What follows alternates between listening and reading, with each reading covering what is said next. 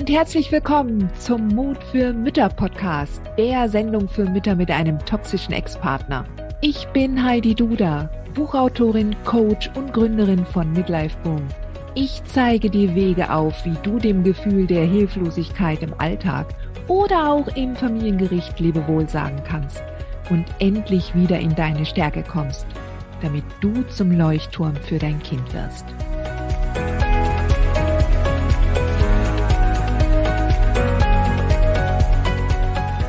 So, heute geht es weiter mit dem zweiten Teil der Reihe zum Thema Schamgefühl.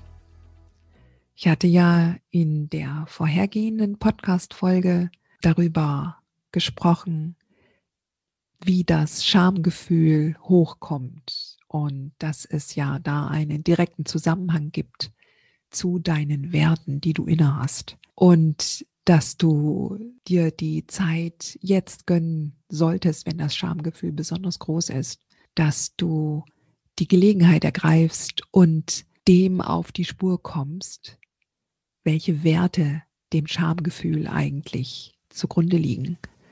Und du dir daraufhin überlegst, ob das jetzt deine eigenen Werte sind, die du tatsächlich so leben möchtest, oder ob es Werte sind, die dir von deiner eigenen Ursprungsfamilie oder von deiner Umgebung auferlegt wurden. Heute möchte ich aber mit dir über ein ganz klassisches Schamthema sprechen. Und zwar, wenn du in der Beziehung, in der Vertrautheit, in der Intimität mit deinem Ex bestimmte Dinge mit dir hast machen lassen oder selber gemacht hast.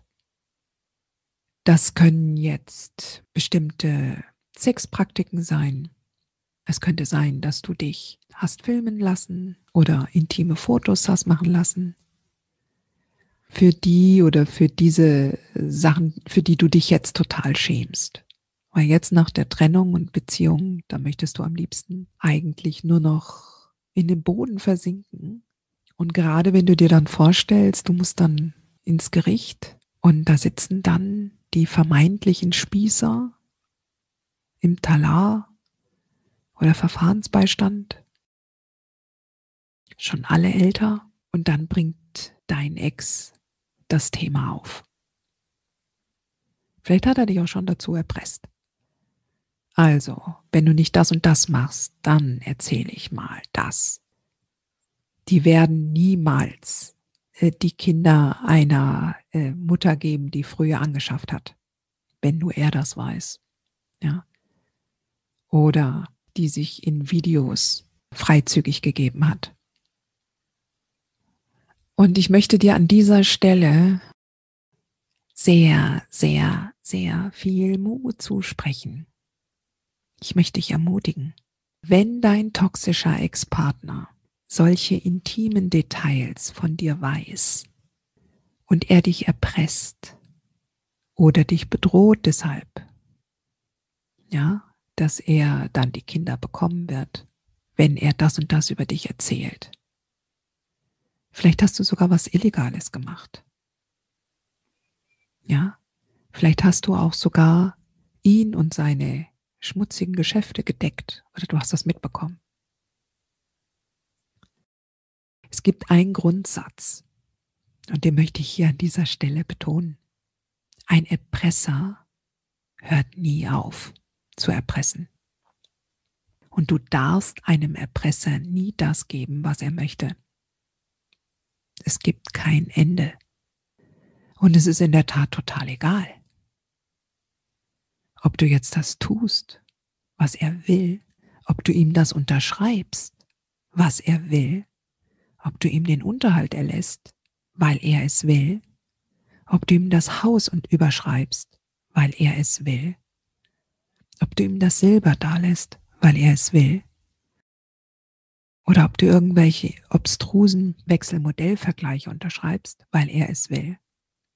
Wenn er die Chance hat, das zu erzählen nach deinen Unterschriften, dann wird er es tun. Du wirst nie sicher sein können. Das einzige, der einzige Weg, der dir dann übrig bleibt, ist den Fehler also beziehungsweise die Verantwortung für diese vermeintlichen moralischen Verwerfungen, ja, diese Geschichten, die du angestellt hast, dass du die übernimmst. Dass du die Verantwortung übernimmst. Die Amis haben da so einen total schönen Spruch, den ich total gern mag. Own it. Mach es dir zu eigen. Du hast dich ausgezogen vor der Kamera? So be it. Da kannst du dich auch ins Gericht hinstellen und sagen, ich verstehe jetzt nicht ganz. Was hat denn das bitteschön mit meiner Erziehungsfähigkeit? Was haben denn meine früheren intimen Sexpraktiken mit meiner Erziehungsfähigkeit des Kindes zu tun? Ich verstehe jetzt nicht ganz, was das hier in der Umgangsdiskussion zu tun hat oder zu suchen hat. Ein ganz wichtiger Punkt ist aber auch, und das kannst du immer, immer dir vor Augen halten. Eine Beziehung, eine Liebesbeziehung ist nun mal intim. Und diese Intimität ist eure Privatsache.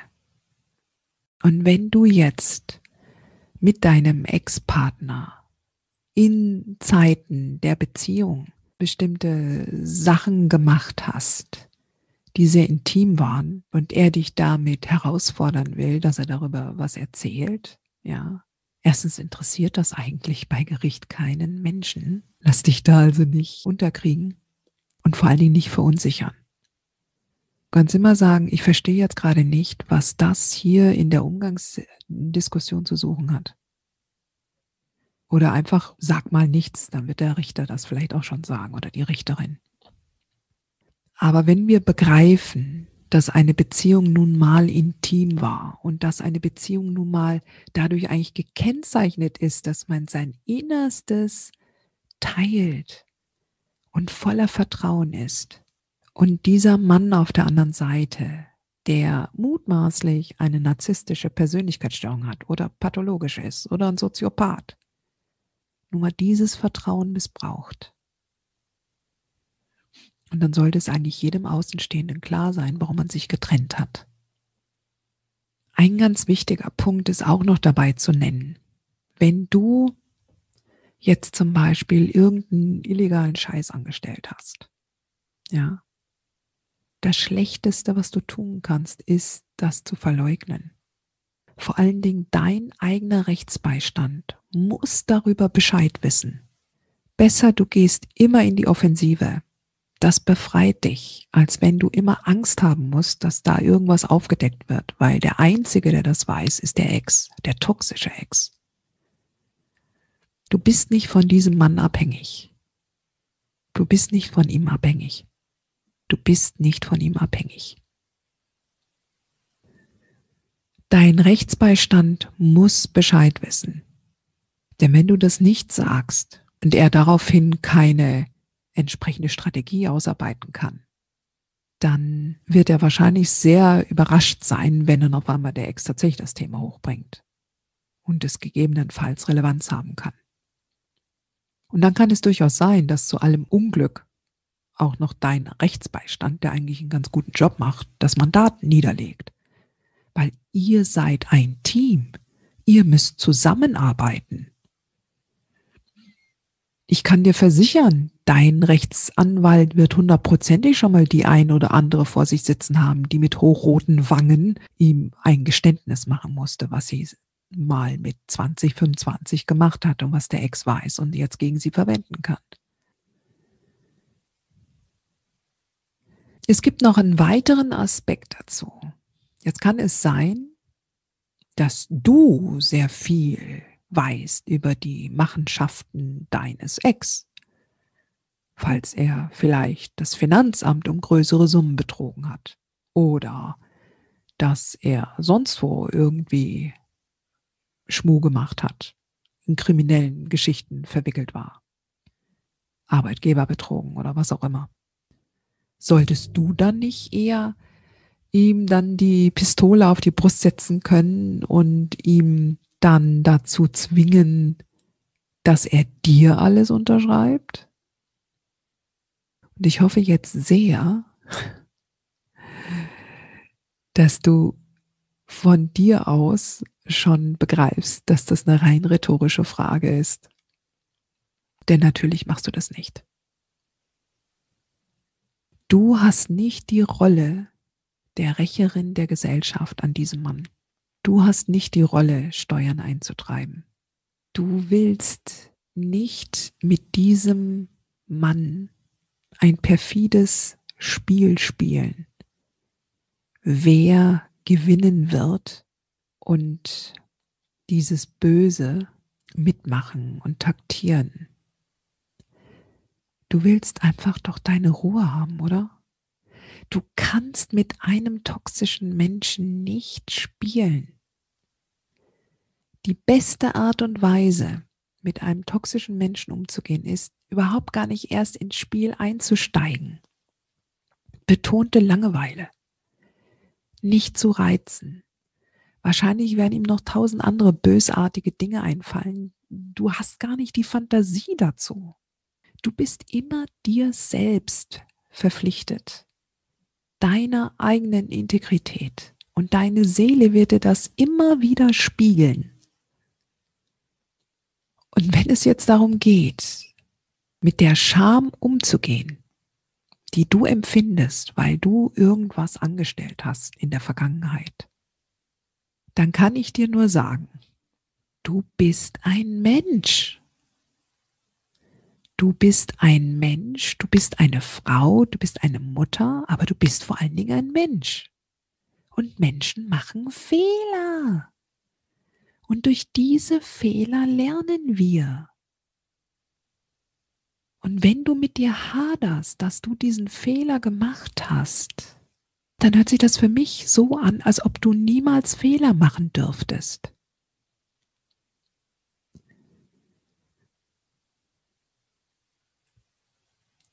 Aber es gibt ihn nicht den perfekten Menschen. Und ich kann dir auch versichern, dass Kinder keine perfekten Eltern wollen und brauchen. Nichts ist schlimmer für ein Kind, als wenn die Eltern perfekt sind. Das sind ja so Maßstäbe. Gönnen wir den Kindern doch die Möglichkeit zu erkennen, ui, da hat die Mama oder der Papa einen ganz schön, eine ganz schöne Macke oder da haben die Fehler gemacht, die können also doch nicht alles.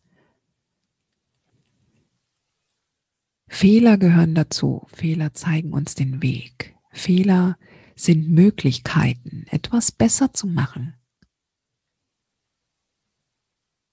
Und wenn du zum Beispiel gerade mit so, mit so ganz schrägen Lebensläufen von dir oder wenn du einen ganz schrägen Lebenslauf hast und du denkst so, Mann, was ich schon alles für Fehler gemacht habe und, und dieser toxische Mann war einer der größten Fehler überhaupt dann orientiere dich doch vielleicht mal an bestimmten Biografien von Menschen, die es geschafft haben. Ich finde es total spannend, solche Geschichten zu lesen von Menschen, die eine ziemlich heftige Kindheit und Jugendzeit verbracht haben und als junge Erwachsene wirklich ziemlich durch die, durch die Mangel gedreht wurden die trotz aller Fehler zu ganz wunderbaren Menschen sich entwickelt haben, die der Gesellschaft ganz viel zurückgeben können. Und es gibt sie und schau dich mal um und orientiere dich daran.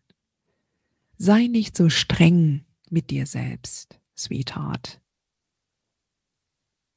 Du darfst Fehler machen und du wirst auch noch jede Menge Fehler machen. Ja? Hadere nicht mit dir, denn du, so genau so wie du bist, bist du perfekt. genau so wie du bist, mit deinen Fehlern, mit deinen Macken und mit deinen Stärken, mit deinen Talenten. Du bist eine ganz, ganz einzigartige Mischung und du bist die perfekte Mutter für dein Kind.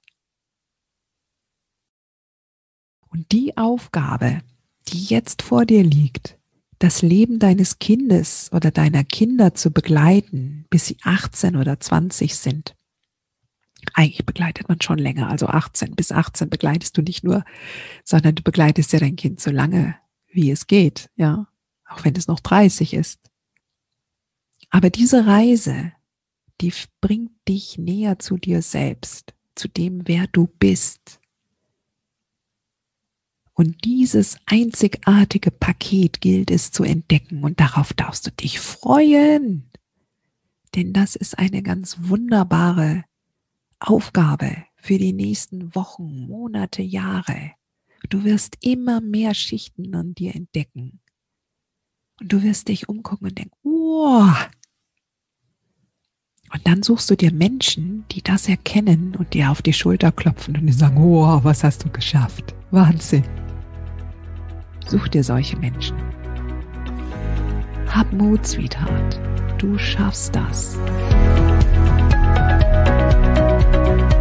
Hat dir diese Folge gefallen? Dann hinterlasse mir doch bitte hier deine Rezension und vergiss nicht, den Podcast auch zu abonnieren. Auf meinem Blog midlife-boom.de findest du den passenden Artikel zur Folge und kannst dort nochmal in Ruhe alles nachlesen. Den Link findest du unten in den Show Notes.